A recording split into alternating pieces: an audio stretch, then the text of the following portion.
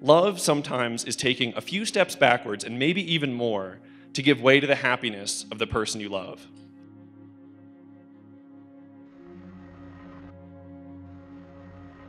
Aaron and I were playing in a sandbox. Remember, he's two years older than me, um, near our old apartment building in downtown Boston. Now, I'm sure everyone here knows that Aaron is just about the gentlest person in the world. And apparently, as a kid, he was even gentler because apparently in the sandbox, this random kid comes up to him and took his toy away. But Aaron, of course, couldn't stick up for himself. So what happens? Well, little bro to the rescue. And apparently, I clocked this other kid in the head with my fire truck to make sure to get Aaron's toy back for him. I like to think I had a master plan in mind, paying it forward a little bit. Because since then, Aaron really has always been looking out for me.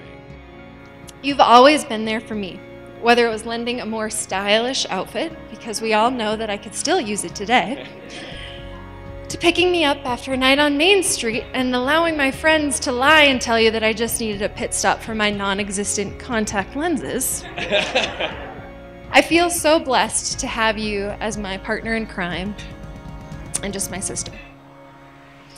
All of us wards can agree that life is just more fun with you. He's a remarkable young man, and we've been impressed with him from the very beginning. I remember meeting Aaron for the first time. Aaron profusely thanked Betsy, gathered up his dishes, Kathryn's dishes, my dishes, Betsy's dishes, and then wiped the countertops. And I said, Hey, this is a great guy. He eats like a ton and cleans up after himself. we are all convinced that this wedding is uniting two wonderful people and two great families.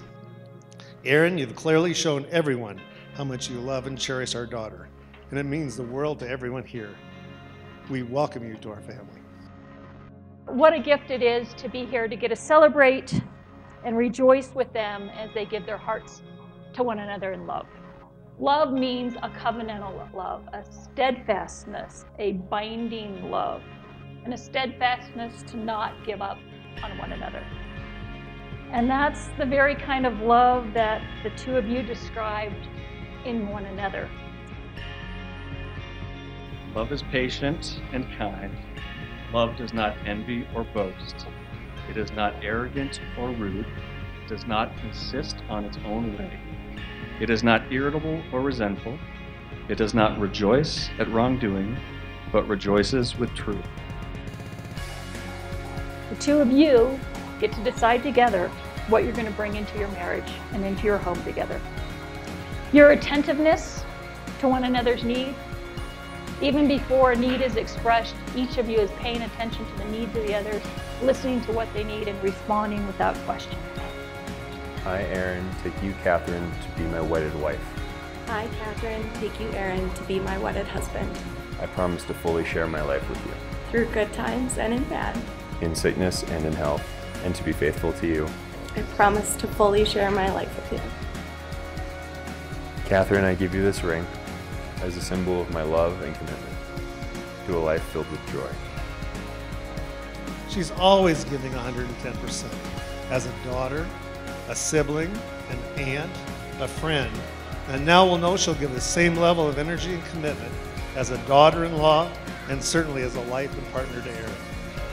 So, for these reasons, and because of, especially because of your adventuresome spirit, I also have a small gift for you. It's a compass.